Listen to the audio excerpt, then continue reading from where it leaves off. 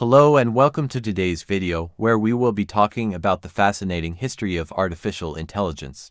AI is a rapidly advancing field, but its roots go back much further than you might think. The early beginnings of AI can be traced back to the ancient Greeks, who created myths about intelligent robots and artificial beings. However, the modern field of AI began in the 20th century. In 1956, a group of researchers led by John McCarthy, Marvin Minsky, Nathaniel Rochester, and Claude Shannon coined the term artificial intelligence at the Dartmouth Conference. The researchers believed that machines could be programmed to simulate human reasoning, and this led to the development of the first AI programs. One of the earliest AI programs was the Logic Theorist, developed in 1956 by Allen Newell and Herbert. Simon. This program was able to prove mathematical theorems using a set of logical rules. Another early AI program was the General Problem Solver, developed by J.C. Shaw and Herbert S. Simon in 1959. This program was able to solve problems by breaking them down into subproblems and solving them individually.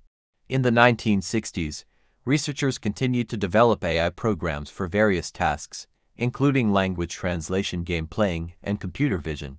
However, progress in AI slowed down in the 1970s and 80s due to a lack of funding and unrealistic expectations. This period became known as the AI winter. Researchers realized that the technology was not yet advanced enough to achieve the ambitious goals set for it, and funding for AI research dried up. In the 1990s, progress in AI began to pick up again due to new breakthroughs in neural networks and machine learning. In 1997, IBM's Deep Blue computer defeated world chess champion Gary Kasparov in a six-game match, which was a landmark achievement for AI. In the following years, researchers continued to develop AI systems that could perform various tasks, including speech recognition, image recognition, and natural language processing. One of the most significant recent advancements in AI was the development of deep learning. This technology uses neural networks to process vast amounts of data and make predictions based on that data. It has led to breakthroughs in speech recognition, image recognition, and natural language processing. In the last decade, deep learning has led to the development of AI-powered virtual assistants like Siri and Alexa, which have become ubiquitous.